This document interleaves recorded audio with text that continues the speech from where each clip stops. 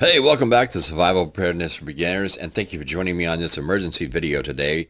And we're talking the war is here, and I'm not talking about the war war, all right? The war between you being able to heat your home this year and for you to be able to afford to buy food.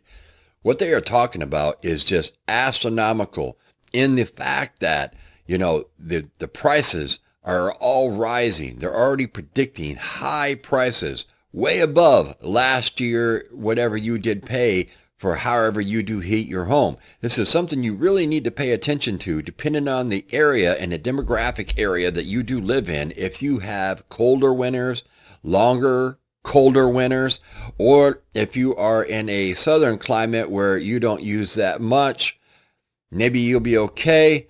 But you got to hear these figures, folks. And I'm going to talk about at the end also what you can do to try to um, offset some of this and hopefully have a great backup system in case there is no power or they turn off the gas or the heating oil trucks can't get to you because it's such a bad winter.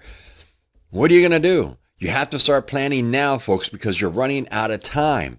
All right? Because you're not going to be able to afford these prices on top of the food prices in with the inflation, the recession, and everything else that's taking place. This is going to be very bad for a lot of people out there. So heed the warning. All right. They expect that nearly half of U.S. households that heat primarily with natural gas will spend 30% more than they spent last winter on average. It bumps up to 50% more if it's a colder winter. And it drops to 22% more if it's a warmer winter.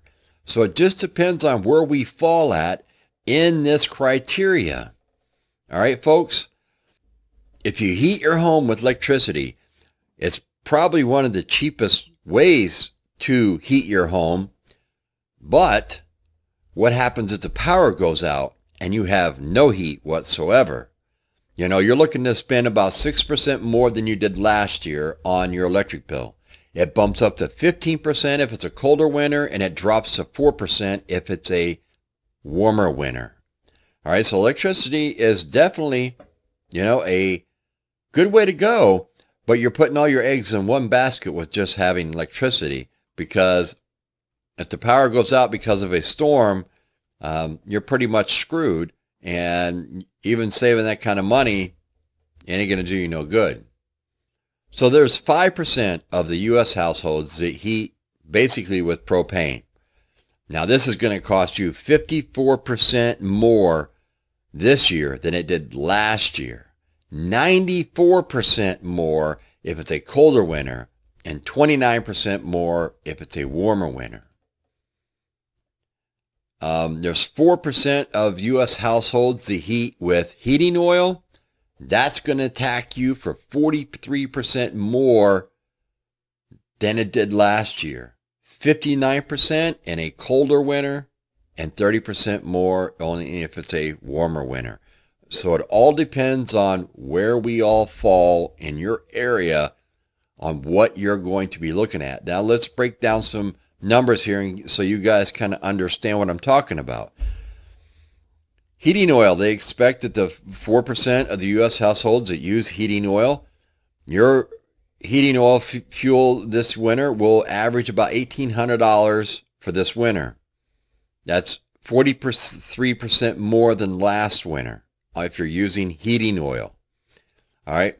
Now this is also based on, depending on the climate, if it's a warmer or colder winter. That's what all these figures are based on. So just be aware of that. All right. Nearly half of all households that heat primarily with natural gas. You're looking to spend about 800 bucks more than you did last year. That's 30% more than what they paid last year for their natural gas. People that use electricity to heat their home, you're going to pay about $1,300 this year. And that's about 6 more percent than what it was last year based on what they are predicting for average highs and lows for this upcoming winter. Now you do get a lot of different variations with that right now. Um, So it's just something that you people really want to really sit back and take a look at if you're heating with electricity, propane, heating oil, or natural gas. Those four there, they're going to cost you more. Some are less, some are more. What is the availability in your area? And what do you have for backup? What I would really highly suggest everybody do is, is look into getting either a wood stove or a wood pellet stove to fall back on. This way here you have something to generate heat with this upcoming winter, especially with these high fuel prices. Yes, the price of a cord of wood has gone up, but in the long run, if you have something like wood or wood pellets, you can offset maybe some of your cost in heating your home and staying warm And this way here, it, it doesn't get down to where you have to choose between heating your home and buying food to put on the table. And if you don't have the availability to do something like that, right now is a good time for you to be stocking up on food to get you through the winter this year, folks. All right? I know a lot of people out there, you don't want to be labeled as preppers. All right, so now you're preparing for winter, just like people have done for hundreds of years. You put food up to get you through the long, cold winters. And this way here, if your energy bill is higher, it's not going to turn around and tack you and you're not going to like freak out because you don't have the money to say, you know, put food on the table or heat your home and keep your family warm. So these are just some things that you can do to try and be prepared. Start looking for some really good buys. Start shopping around.